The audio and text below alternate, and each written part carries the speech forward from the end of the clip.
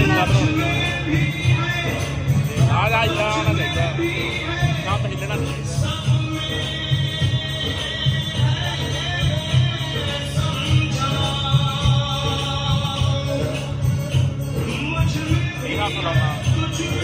Thank you.